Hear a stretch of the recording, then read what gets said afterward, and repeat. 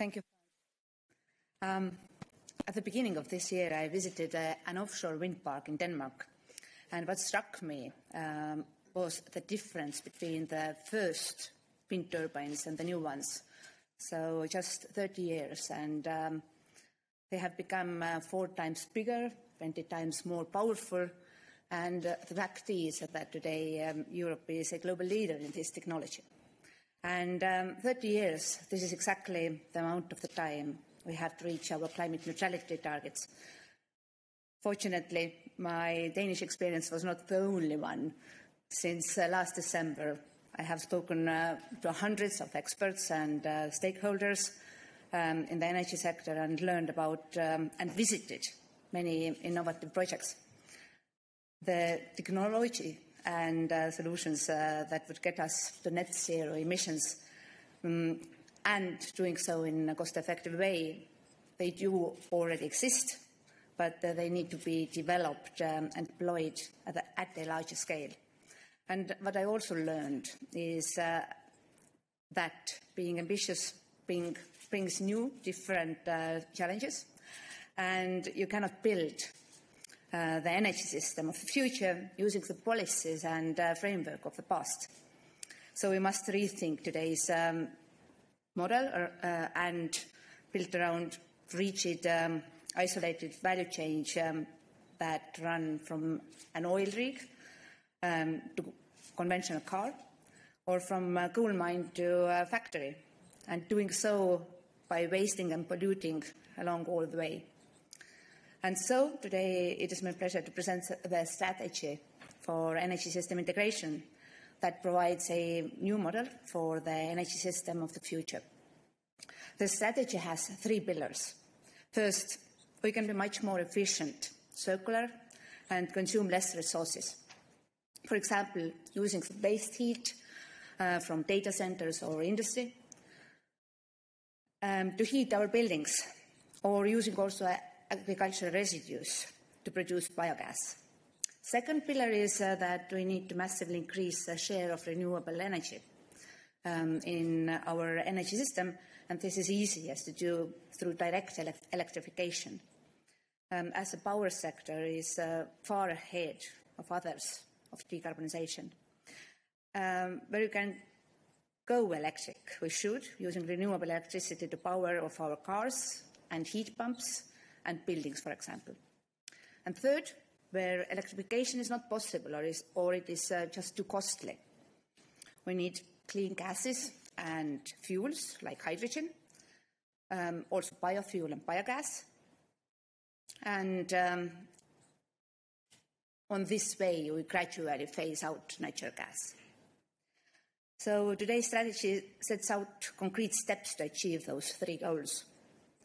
All of our incoming energy initiatives this year the renovation wave, uh, the offshore energy strategy, and the TEN-E revision will contribute. And in the coming days, we will launch the process to review the energy efficiency and renewable directives, which will help us to implement several measures outlined in this strategy. In 2021, we will propose new gas market rules to reform our gas markets uh, just as we did for our electricity markets to ensure that our legislative framework pushes uh, the gas sector to become green as fast as possible. This brings me to the second topic of the day, hydrogen.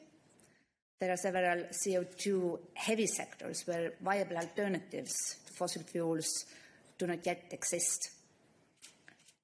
Some areas of transport and uh, some industry in particular Without a solution, our goal of net zero emissions will remain out of reach. The most promising answer is renewable hydrogen. Today's strategy lays out uh, our vision and concrete roadmap for the role of hydrogen in our future energy system. Uh, it is an ambitious plan, but it is achievable, uh, going from very little renewable hydrogen to 10 million tons by 2030 and around 13% of uh, clean hydrogen in our energy mix by 2050. To make this happen, we have to boost both supply and demand.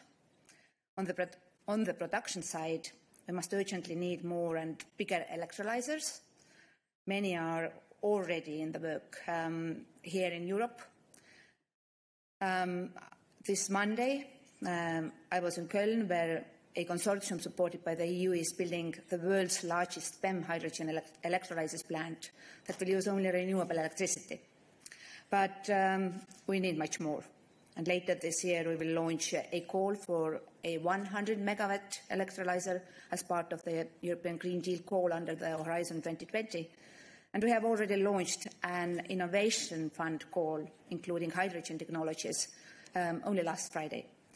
So, to create sufficient demand for clean hydrogen, we will work on common standards, certification and terminology, and pilot a carbon contracts for difference program to facilitate the use of clean hydrogen in steel and chemical production. Quotas for specific sectors and direct market-based support schemes for renewable hydrogen may also be needed to scale up the use. We also know that um, clean hydrogen will have a chance only if there is a market.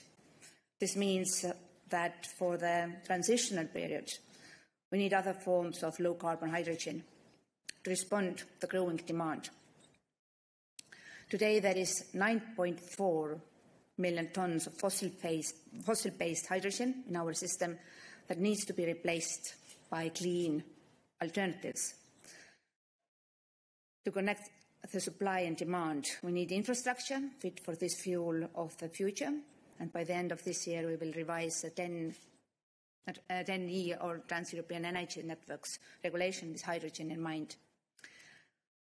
So our hydrogen strategy has also an important international dimension that Frans already mentioned. Europe has a strong position in electrolyzer production and should take advantage of the global surge in interest of, uh, in renewable hydrogen. At the same time, hydrogen provides an excellent opportunity to cooperate, especially with our neighbours in the east and south, and this will both contribute to their sustainable development and improve, improve our security of supply. So, ladies and gentlemen, if we continue with the same status quo like we had yesterday, we will reduce greenhouse gas emissions uh, by roughly 46% by 2030 and uh, 60% by 2050. And that means um, we fall short of our increased ambition for 2030 and reaching net zero by 2050 will not be feasible. So those two strategies we have adopted today are the energy sector's contribution to achieving our climate goals and recovering from the crisis in the context of uh, proposed EU budget and the next generation EU recovery plan.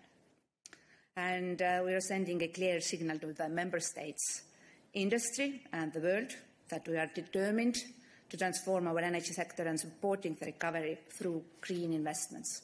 Thank you. Thank you very much.